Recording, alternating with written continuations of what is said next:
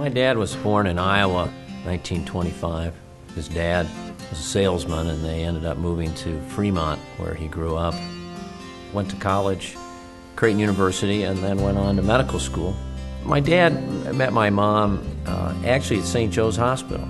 He was a pediatric resident, and she was in charge of uh, dietetics and the kitchen at the St. Joe's Hospital. And of course, uh, he was a hungry resident.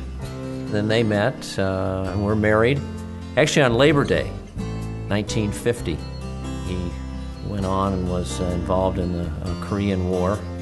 Then he came back to Omaha and started his private practice in pediatrics, uh, where he practiced in Omaha for some 48 years. They didn't have all the fancy equipment that we have, and they didn't have all the fancy x rays and MRI and CT and diagnostic tests that take an hour.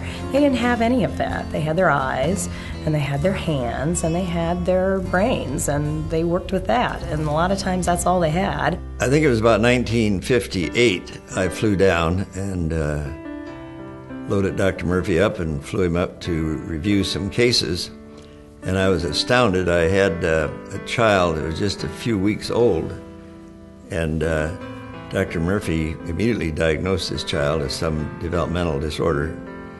And uh, lo and behold, as the child matured, he was absolutely correct.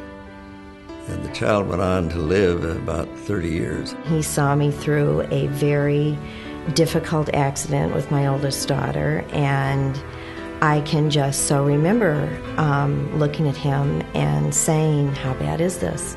And he told me exactly how bad it was. And I can remember he beat the ambulance to the hospital, and he was so angry at the ambulance drivers that they were so late. And he um, just took over. And I said, I don't know a neurosurgeon. Who shall I call? And he said, There's only one. And there he stood. He was waiting also. It's very easy sometimes to cut corners, very easy to just not take that extra time. And he always took that time.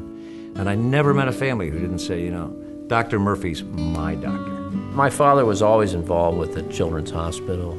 Uh, he was the youngest uh, chief of staff at the hospital and very instrumental in the move of Children's Hospital west he, saw that as a, a, very important part of the future of uh, Children's Hospital. And it was a very exciting time for him uh, because he was involved in the planning and the uh, very important decision uh, that Children's Hospital should continue uh, to stand alone to care for, for children.